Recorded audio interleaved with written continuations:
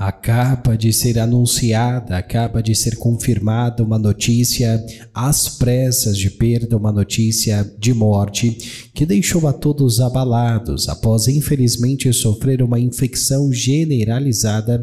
Esta perda, esta morte acabou sendo anunciada, deixando assim sua família devastada. Eu já te conto todos os detalhes e te revelo quem foi que infelizmente veio a óbito e veio a falecer. Temos informações também que atinge, que afeta diretamente o nosso querido é, Sérgio Reis, cantor de sucesso, cantor de renome. Chega agora, neste momento, esta informação, esta notícia, aonde acaba envolvendo diretamente o famoso. Também uma notícia acaba de ser anunciada e confirmada e envolve diretamente Celso Portioli apresentador querido do SBT. Chega agora, neste momento, esta informação, esta notícia que envolve diretamente o famoso.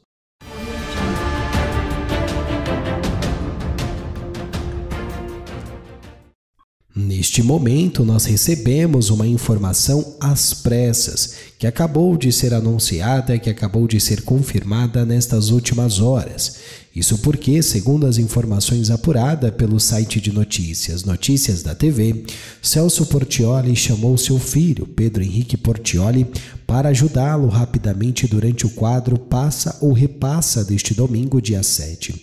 O apresentador aproveitou a presença do herdeiro para ironizar os boatos de que teria pedido emprego para sua filha Laura no SBT.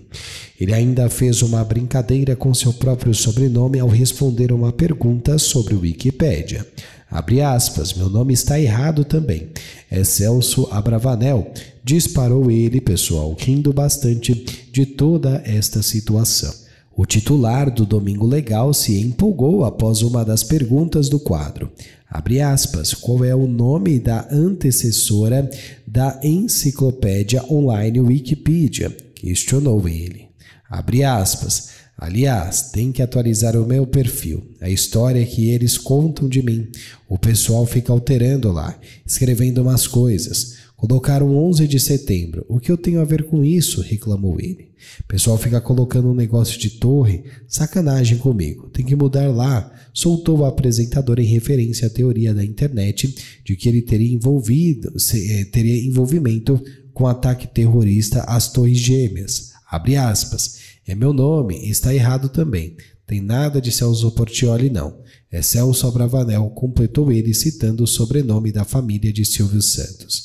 Internautas, pessoal, até mudaram rapidamente o sobrenome do apresentador para Abravanel no perfil dele online, mas a equipe do Wikipedia corrigiu a informação pouco tempo depois.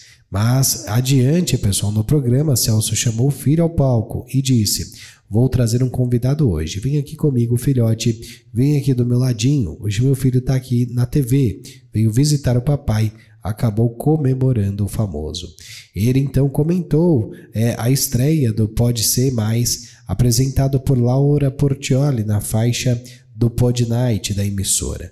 Abre aspas. Estão dizendo que eu pedi para sua irmã trabalhar aqui na televisão onde já se viu pedir para a filha fazer o podcast. Eu vou botar mais um agora. Debochou ele. O apresentador fez o herdeiro chamar os próximos destaques do programa. Bota força, pressão, orientou Portioli, que também é pai de Luan. É válido destacar, pessoal, que os fãs de Celso Portioli acabaram achando a situação bastante engraçada e acabaram caindo no riso. Mas e você, pessoal? O que, que você pensa sobre tudo isso? Qual é a sua opinião em relação a toda esta situação? Deixa aqui abaixo nos comentários e já vamos para a próxima notícia desse vídeo. Neste momento, nós recebemos uma informação que atinge, pessoal, o cantor sertanejo Sérgio Reis. Segundo as informações também publicadas pelo site Notícias da TV, depois de passar por uma cirurgia de emergência, Sérgio Reis apareceu, pessoal, na cama de um hospital e afirmou que se encontra bem. O famoso artista, o famoso cantor que tem atualmente 84 anos, cancelou a sua agenda de shows depois que acabou sendo levado, sendo internado às pressas na última quarta-feira, dia 3, devido, pessoal, a um problema bastante delicado cardíaco. Além disso, foi indiciado, pessoal, pela Polícia Federal na sexta-feira, dia 5, por atos antidemocráticos, em 7 de setembro de 2021. Nos stories do Instagram, o artista apareceu bem-humorado e comentou sobre a cirurgia, dizendo o seguinte: Saí da mesa cirúrgica agora, coloquei dois estendes, quatro bombas e 18 copos de pinga, dois balões. Já estou bom. Graças a Deus correu tudo bem. Vão ter que me aguentar cantando e muito ainda. Obrigado pelas orações, acabou afirmando o famoso. Sérgio Reis deu entrada no Hospital Sírio-Libanês em São Paulo devido a uma complicação em um dos estendes arteriais. Tubos expansíveis usados para manter as artérias desobstruídas que ele já utilizava. Por precaução, os médicos decidiram realizar uma nova cirurgia. A assessoria de imprensa do artista informou que ele precisará ficar em repouso absoluto. Abre aspas. Foi constatado problema em um stent, razão pela qual há necessidade de realizar um cateterismo para solucionar o problema. O cantor deverá ficar em repouso absoluto, diz a equipe dele em nota divulgada através das redes sociais. O cantor tinha dois shows agendados para este fim de semana em Bálsamo, São Paulo, São José da Barra, em Minas Gerais, que tiveram de ser adiados. As novas datas serão reagendadas e anunciadas em breve. Sérgio Reis foi indiciado pela Polícia Federal em um inquérito que investiga atos antidemocráticos em 2021. Além do cantor, outras 11 pessoas também foram listadas.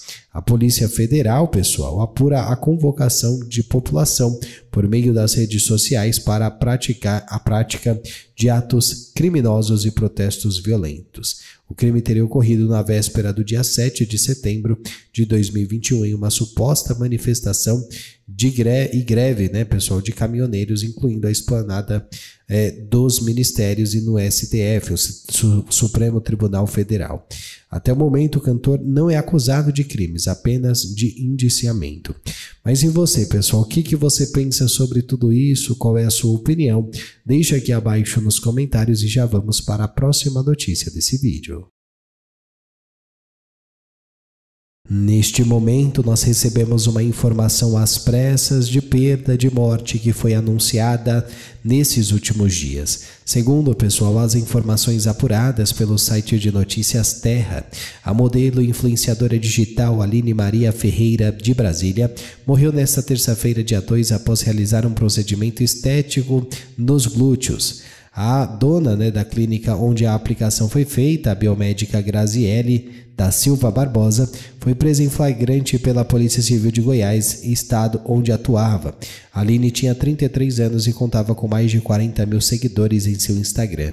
influenciadora digital Aline Maria Ferreira, infelizmente acabou falecendo.